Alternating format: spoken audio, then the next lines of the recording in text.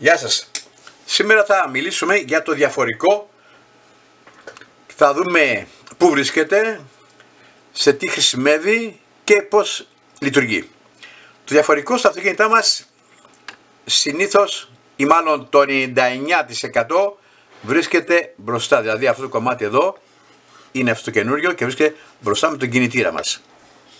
Δηλαδή όλα τα αυτοκίνητα εμπρός της κίνησης το διαφορικό είναι μπροστά. Στα παλιά πίσω κίνηση είναι πίσω και στα σημερινά φορτηγά.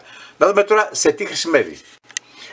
Σκοπός του διαφορικού είναι όταν εμείς παίρνουμε είτε μία αριστερή στροφή είτε με δεξιά, δηλαδή σε όλες τις στροφές να λειτουργεί το διαφορικό. Δηλαδή, ο μέσα εδώ, σε αυτή την περίπτωση, εδώ,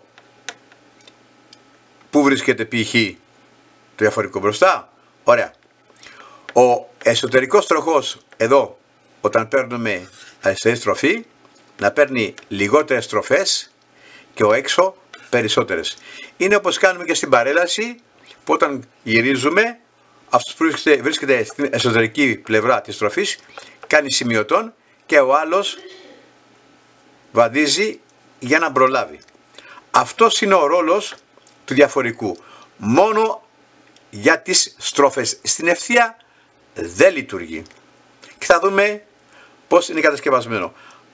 Το εσωτερικό του τώρα. Η ιστορία του διαφορικού. Εδώ οι Γάλλοι μας λένε ότι το διαφορικό ανακαλύφθηκε το 1827 από τον μηχανολόγο, τον Γάλλο μηχανολόγο και μάλιστα ορογοποιό, τον λεγόμενο Onesiphore Pecker. Και εφαρμόστηκε δηλαδή από το 1827, εφαρμόστηκε για πρώτη φορά το 1860 στα ατμοκίνητα αυτοκίνητα. Αυτή είναι την ιστορία και πάμε να δούμε τώρα τη λειτουργία του. Θα κατονομάσουμε λοιπόν τα διάφορα μέρη. Εδώ λοιπόν αριστερά βλέπουμε αυτό το κομμάτι λέγεται αριστερό ημιαξόνιο και πάνω στο οποίο έχουμε βιδώσει τον αριστερό τροχό. Είναι βιδωμένος απάνω. Στην άκρη εδώ αυτό το γρανάζι λέγεται πλανήτης. Την άλλη πλευρά έχουμε ακριβώς το ίδιο. Όπου, ό,τι έχουμε εδώ, έχουμε το δεξί ημιαξόνιο μαζί με το δικό του πλανήτη. Εδώ αυτό το κομμάτι λέγεται το ποινιό.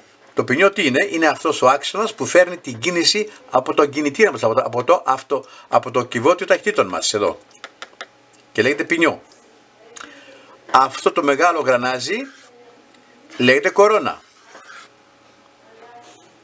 Και μέσα εδώ έχουμε δύο μικρά γραναζάκια που λέγονται δορυφόροι. Έχουμε λοιπόν πλανήτες και δορυφόροι. Ένας πλανήτης αριστερά, εδώ, με το ημιαξόνιό του και το και άλλος εδώ, ο πλανήτης με το δεξί μιαξόνιο. Πάμε να δούμε τώρα πώς λειτουργεί. Πάμε τώρα να δούμε την κίνηση και πώς λειτουργεί. Εδώ βλέπουμε το ποινίο να μεταφέρει την κίνηση και περιστρέφει την βασική την κορώνα. Ταυτόχρονα βλέπουμε ότι όλα μαζί, όπως βλέπουμε εδώ, κινούνται μέσα. Τα πάντα. Τώρα, αυτή η κίνηση είναι στην ευθεία. Δηλαδή όταν εμείς είμαστε στην ευθεία, δίνει κίνηση εδώ το ποινίο, στην κορώνα και η κορώνα περιστρέφει όλο αυτό το σύστημα μαζί με τα ημιεξόνια ταυτόχρονα ο, το αριστερό μιαξόνιο και το δεξί μιαξόνιο περιστρέφονται, περιστρέφονται με την ίδια περιστροφική κίνηση, δηλαδή έχουν την ίδια ταχύτητα. Γι' αυτό και βλέπουμε εδώ πέρα πως περιστρέφεται όλο το σύστημα. Βλέπετε, λοιπόν τώρα θα δούμε Βλέπετε εδώ, κινούνται ταυτόχρονα όλα μαζί. Πάμε να δούμε τώρα πώς κινείται στην στροφή.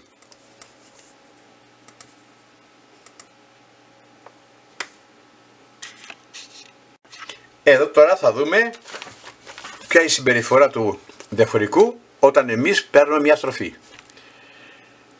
Εδώ βλέπουμε είναι ταυτόχρονα και τα δύο. Για προσέξτε τι θα γίνει τώρα εδώ. Κάποια στιγμή ένα από τα δύο, η μία αξόνια, ο πλανήτης δηλαδή, θα αργήσει να περιστρέφεται ή θα σταματήσει. Εδώ έχουμε, είμαστε στην ευθεία, περιστρέφονται ταυτόχρονα και τα δύο.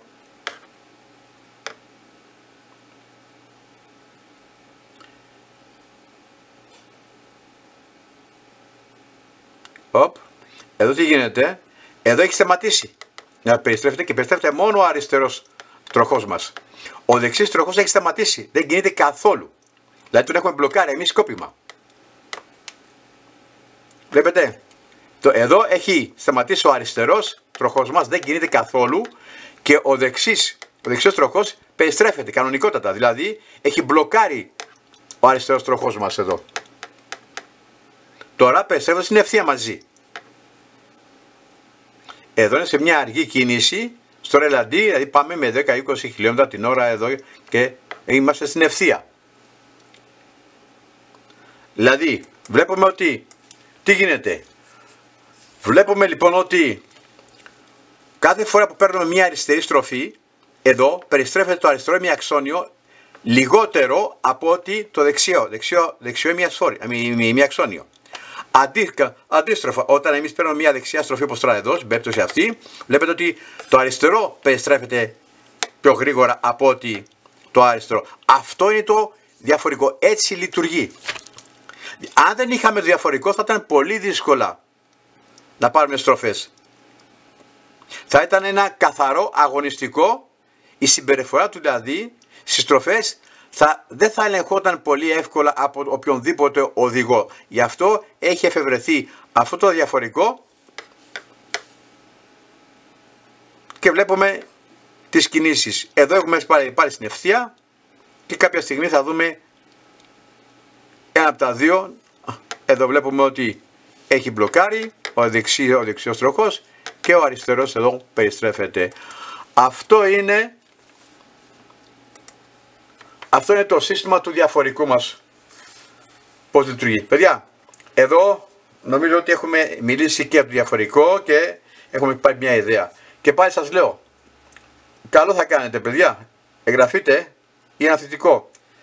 Αλλά τα λέμε, αλλά εσείς Πέρα βρέχει. Γεια χαρά παιδιά.